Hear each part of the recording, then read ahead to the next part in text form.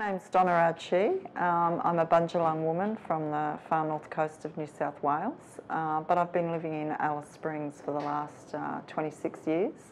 Uh, married into a local family, married to a, a um, Aranda Yankunytjatjara man, and we've um, had three children.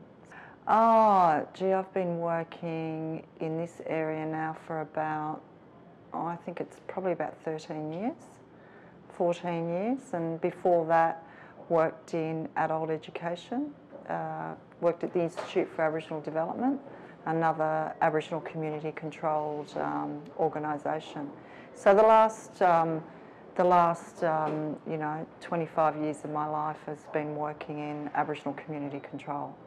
I, I, I worked in government before I, um, before I, I um, uh, went and worked in the Aboriginal community controlled sector and I think that working in both has been very useful. Um, I think that we should never criticise or, I think constructively criticise, I think is a fair thing to do, of our own mob that work in government because we do need good uh, Aboriginal and Torres Strait Islander people working inside, working in government that enables that sort of change that needs to occur inside the bureaucracy.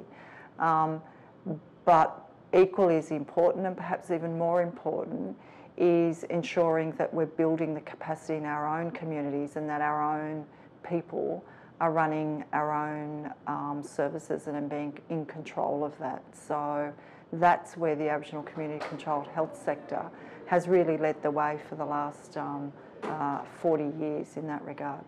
Well, I think it's taken. I think it's taken um, uh, many years of, of, of, development and evolution. I think that now, when we first started off, we were much smaller services and, um, you know, didn't necessarily require the kind of additional skills, I would say, uh, today because of, um, of us transforming into these uh, multi-million dollar service organisations.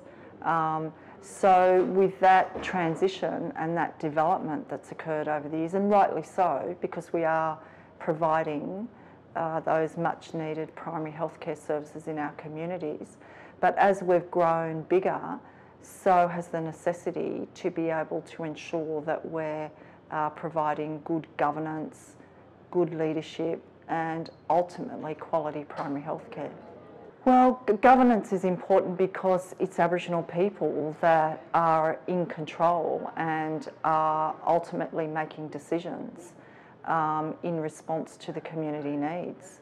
So uh, you can you can actually see where there isn't an Aboriginal community controlled health service in the Northern Territory, uh, where you can see that there is limited, although the Department of Health would um, try their best they can to some degree about um, having Aboriginal participation uh, and uh, input into their service, but ultimately the uh, best way to have Aboriginal people's engagement in an Aboriginal health service is for them to have the control of that service. In 20 years' time, hopefully we're going to see a lot more Aboriginal community controlled primary health care uh, services uh, established around the country. I think we've come to a point in that sort of development that we're not seeing as many uh, develop as we used to. Uh, they are happening in pockets of, of, um, of Australia, like we've got in southeast Queensland, where they have been, you know, establishing small um, sort of satellite clinics. But when you look in in areas where there's large geographic, um, you know, um, uh, areas that we need to see the establishment of Aboriginal community controlled health services in their role, in their own right, uh, responding to that particular geographic location and the community in which that that um, you know surrounds. My personal vision is really about the sorts of work that we've been doing at a local level at Congress in Alice Springs is to see some of those things. I think we've all got something to share that we're doing in our particular services around the country. And in bringing some of those um, key elements of service de delivery together, I think what we'll find is truly a comprehensive primary healthcare service. So that's what I want to see. I'd love to see, um, you know, achieved in the years to come. That we do have the depth and breadth of um, services and programs, the sorts of policy and advocacy work that can be done at a local level, and not just be left to our peak bodies. Um, in our jurisdictions or NACCHO as our national body, but collectively we're all doing our bit uh, around advocacy as well. So it, um, an, an area of interest is, is for us is early childhood at the moment. So that's something that I think we need to see progress in future years as a, um, as a focus. That's why we're putting a lot of emphasis uh, now in that particular area. We think that there is a gap.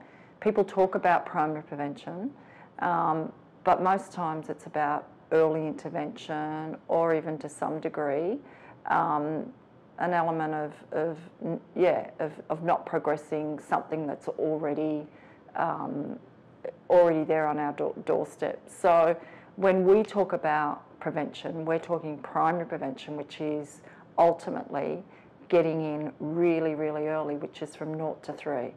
And because um, there is evidence that is becoming, um, you know, more and more evidence around the development of the brain and what that can do in the context of um, maximising a child's potential in future in future years in relation to their educational outcomes, which then have a subsequent flow-on effect, um, as evidence has shown, that if you have a good education, you get to year 12, go on to university, you're, you know, unlikely to end up, you know, in the juvenile justice system, um, more likely to get to be getting a, a, a high-paid job, less likely to be addicted to alcohol and other drugs. So um, the evidence is there.